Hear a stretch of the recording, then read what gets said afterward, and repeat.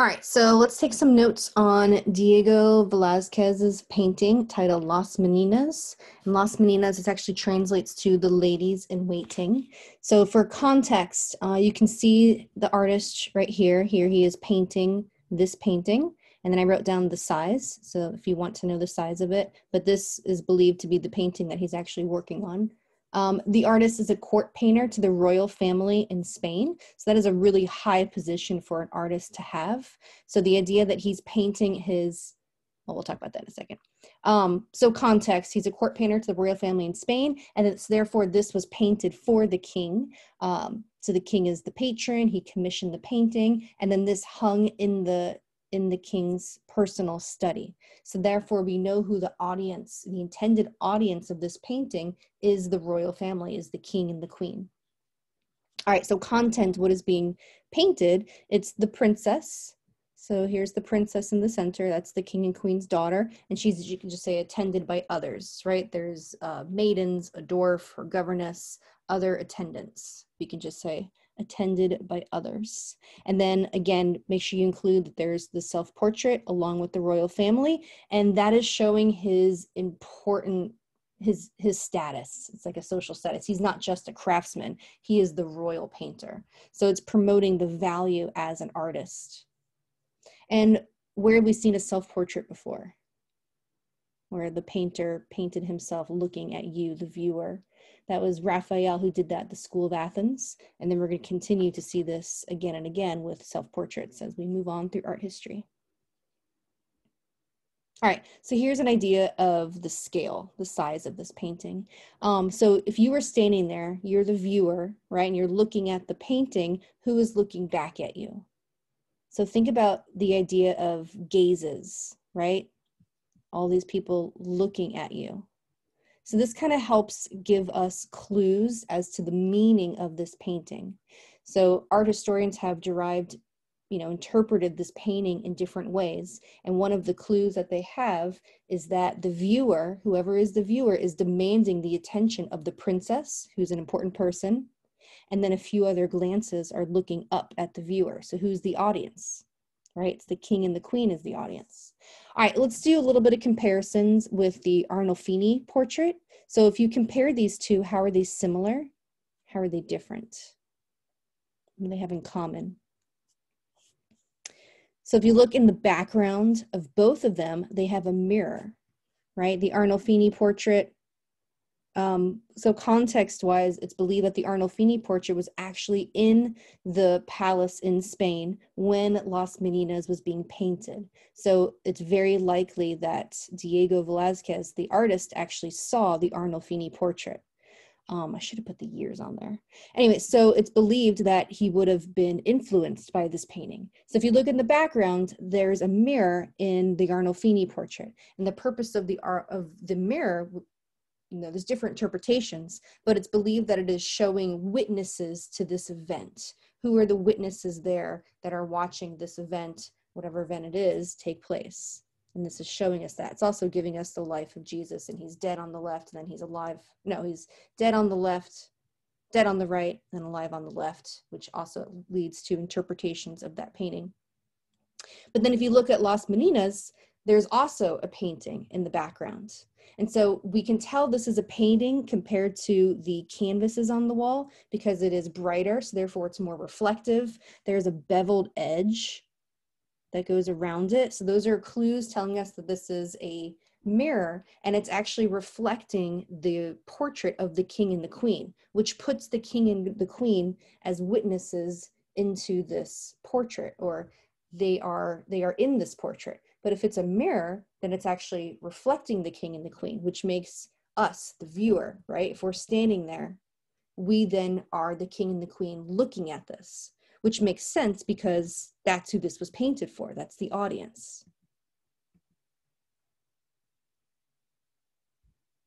And now we also have an artist painting himself along with the king and the queen again, promoting the status of the artist. So we need to add this into our notes. The king and queen are reflected in the mirror on the back wall. Therefore, the viewer is looking at the painting from the perspective of the king and the queen. that is the interpretation that art historians have come to based on the clues that we have just discussed. So what we're going to do now is we're going to practice formulating this into an argumentation uh, free response question. Remember, you're going to have six free response questions on your test, and one of them is going to be about making an argumentation. So I watched one of the AP videos, and I kind of took these ideas from that video to help explain it. So the skills they're wanting you to show is skill 8A, articulating a defensible claim that argues how art historians derive a particular historically valid interpretation. We're going to talk about Las Meninas. And the other skill is then using specific and relevant evidence to support your claim. You can't just say the claim, the viewer is looking at the painting from the perspective of the king and queen, because I know that. You have to give the clues that we just talked about. All right, so the way to do this is you first brainstorm your evidence to make the claim. So your notes, that's all the evidence that we just talked about that you just wrote down. Um, you would then write a defensible claim. I'm going to talk about how. And then you have to explain how or why. You have to support your claim. You have to say because. Otherwise, you're only making the AP readers half happy. All right, so this is a really good formula right here, sample of acceptable claim. So if you say because of, so I'd write this in your notes, write down because of, and then you can just write the specific evidence so the specific evidence in our case is because of the artist is a court painter to the royal family in Spain, because of this being painted for the king, and this painting would have hung in his studio, because of the Arnolfini, Arnolfini portrait being at the palace at the same time this painting was being created, or because of the king and the queen being reflected in the mirror on the back wall. Art historians have interpreted Las Meninas as being painted from the perspective of the king and queen looking at the painting. So this is how that formula would work. And this is what the AP provided as an example. So art historians theorize that visual imagery such as the mirror with the king and the queen and context such as the placement of this portrait in King Philip's study suggests that the viewer is looking at the painting from the perspective of the king and the queen. So that is providing evidence and then making a claim. The claim is the viewer looking at the painting from the perspective of the king and the queen. But then your argumentation essay is going to ask for more. You have to support your claim with at least two examples of relevant visual or contextual evidence and explain how the evidence supports the claim. So this is where you have to go into more detail. So the video gave this detail that we're going to talk about. So we already talked about the so the claim art historians theorize that visual imagery such as the mirror and the context, such as the placement of this being in the study, suggests the viewer is looking at the painting. Yep. All right. So more details you can include about the mirror. The mirror in this painting is similar to the mirror in Van Eyck's Arnolfini portrait. Both mirrors are central in the composition and reflect figures who are absent from the main scene. So again, that's giving more um, detail to your claim. Historians document Van Eyck's Arnolfini portrait as an artwork in the King's collection, so Velazquez would have seen it. So this is what you would say. If Velazquez had seen the Arnolfini portrait, perhaps he suggests that we read his mirror the same way, that the king and queen are witnesses to the scene and are viewing the scene from our perspective, the perspective of the viewer. So that's one way to explain how or why. Here's another one. So same claim. So the painting hung in King Philip's study. Historians claim this painting was for Philip and that it was hung in his study, a private space. Philip is the intended audience.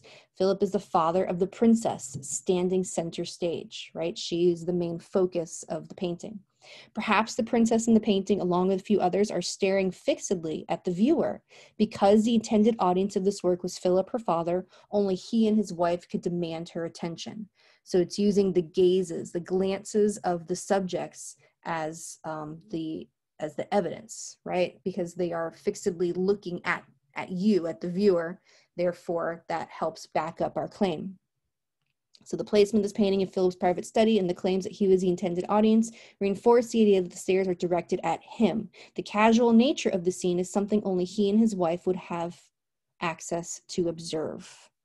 So it's very informal. It's kind of just a snapshot moment um, that not everybody would be seeing. And then there's the dog that they talked about, the undisturbed Spanish Mastiff. The dog is very calm, he's relaxed, he's at rest, his snout is tucked into his chest, his eyes are closed.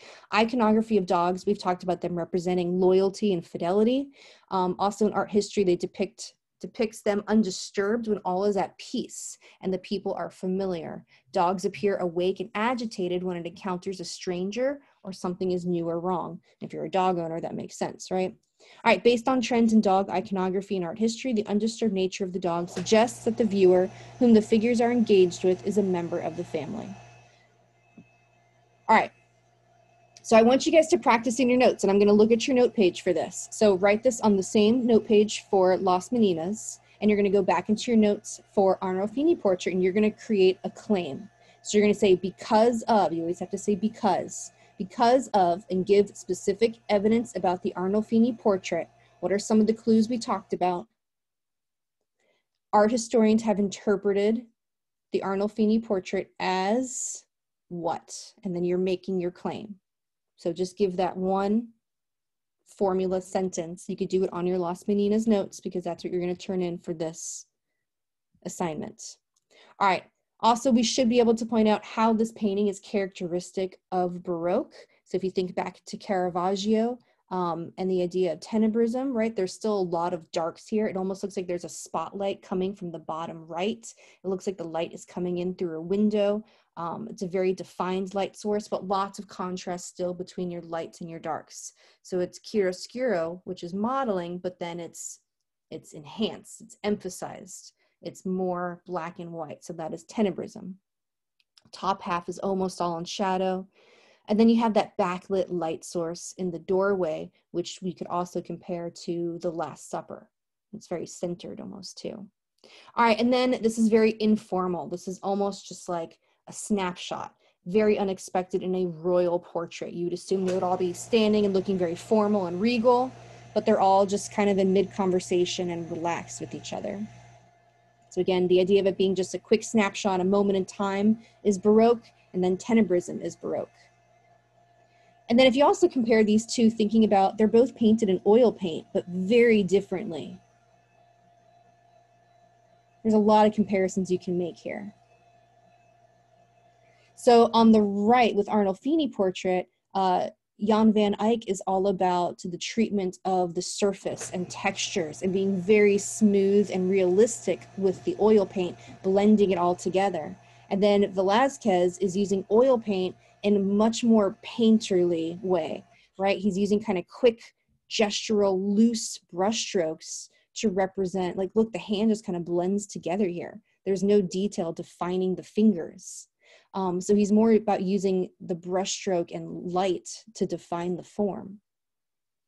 See these little like squiggles if you look up close, and then those are highlights on the fabric. So this is a lot more painterly approach. Oh, here's an example of appropriation. Appropriation is taking something that is not your own and recreating it to be your own. And this is Picasso uh, recreating this famous painting, Las Meninas, the Little Princess. All right, I am excited to read your claim. Have fun.